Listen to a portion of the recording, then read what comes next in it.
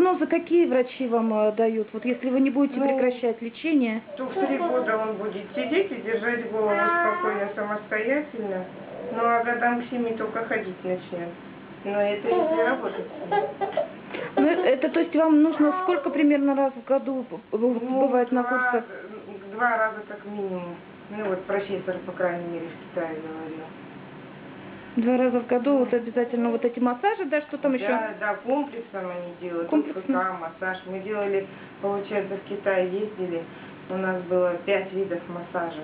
Точечный, э, общий массаж, массаж по меридианам, растяжки с массажем и ОФК. И мы пять с половиной часов занимались им каждый день ежедневно. Он уставал, он кушал так вообще, такой аппетит зверский был. Да, дверь ну,